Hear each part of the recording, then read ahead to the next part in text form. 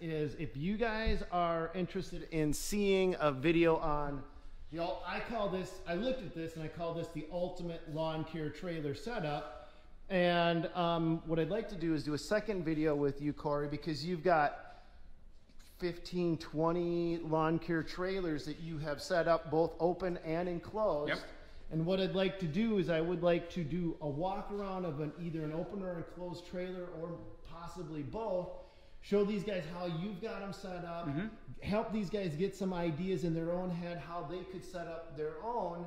So if you guys want to see that, say show me the lawn care trailer video. Put it in the comments down below and I'll come down to Iowa and I'm honestly I'm a little disappointed. I grew up in southern Minnesota and we used to come down here looking for the good old corn-fed Iowa girls, and I haven't seen any. Well, you, you haven't been to it. We can take you to Casey's across the street. I'm gonna be heading down to Ankeny, Iowa, to build the ultimate lawn care trailer with Ballard Innovation.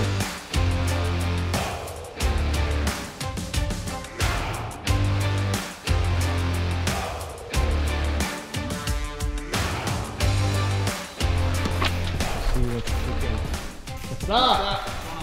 How you doing, Corey? Doing good, buddy. How Good seeing you. doing? Good to see you again. Dad actually built this because we were lifting these heavy gates over and over and over. You, you let them slam to the ground, the welds break loose, it's dangerous. The cool part about the EZ Gate is there's other gate assist- assist out there.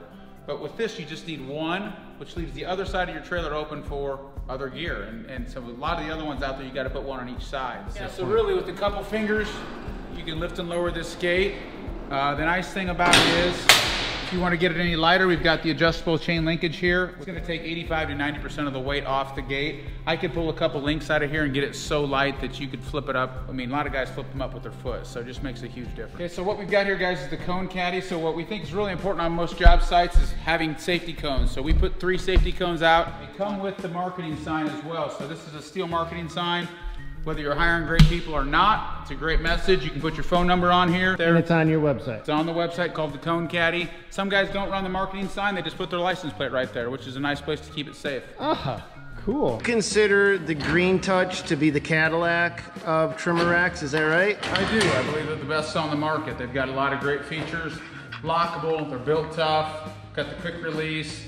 You can get them all keyed the same, so you've got one key to keep everything together. You've also got the engine support kit here, so when you're running along, you're not putting all that pressure on the shaft of the trimmer. So we also sell the trimmer head covers to keep them protected if you're getting rained on. But the engine support kit is key.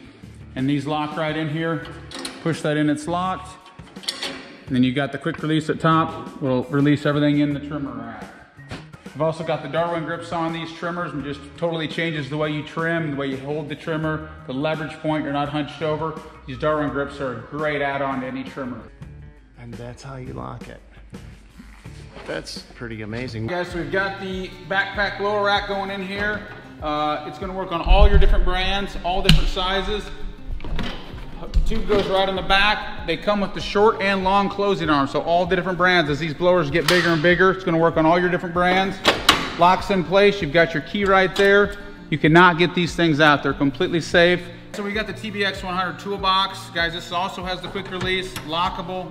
Got a stainless work top on it, so if you need to work on some few things in here, it's waterproof, so you can keep inside. We got our Kujo shoes, which we sell, hearing protection, safety glasses, got the first aid with the fire extinguisher kit inside. You can keep tools in here, anything extra you need to keep on the job site and keep it secure. Again, quick release, locks in place. Corey, can you explain to me this fuel system? Because this is something that I think I want. Yeah, so it's a 15 gallon all steel, DOT certified. It's got the DOT tag right on top. It's a gravity fed tank, so we built a rack to get it up in the air, which also helps us get a few accessories underneath it. But it's got the close off valve here. You can lock the handle, of course. So we've got the Power Locker 300 here. We've got these in two different sizes. Guys, these slide right into place.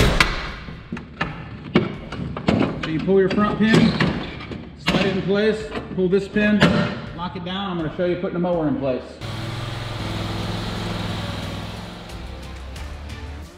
As I showed you last time, our 4.1 cubic foot all aluminum bagger. This works on any mower. We got nine different brackets. The cool part is they come with a trailer bracket. So on this trailer right here, got it mounted right here. You have to choose where you want to put it on your truck and trailer. Guys are worried about jackknifing, but again, locks it right in place.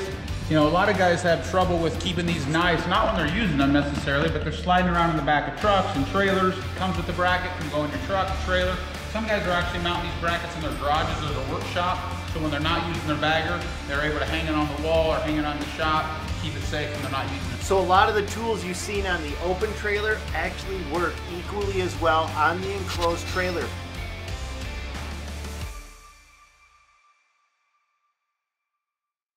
So we've got this thing wrapped up. Now we're not stuck keeping this stuff in any one certain spot, right? Right, you can put it anywhere that makes sense for your trailer and your setup. So what you guys can do if you don't want this mounted here and you want it mounted back there, you got to drill your hole. So any one of these pieces of equipment can go anywhere. Exactly, and we've got more racks as well, hedge trimmers and all kinds of different things that, you know, whatever your business looks like, whatever tools you need, you've got the option to put it anywhere you want.